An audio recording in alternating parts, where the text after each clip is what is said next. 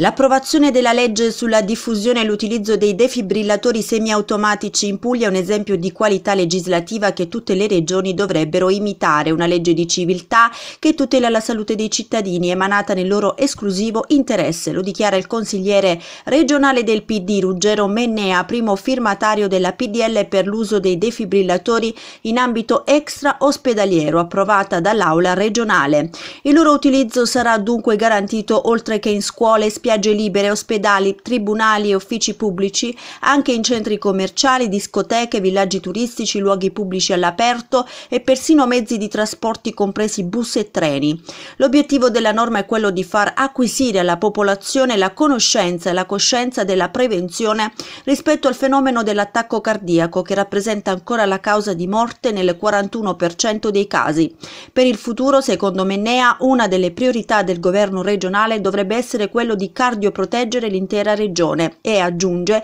finalmente si istituzionalizza la cultura della prevenzione in questo campo specifico.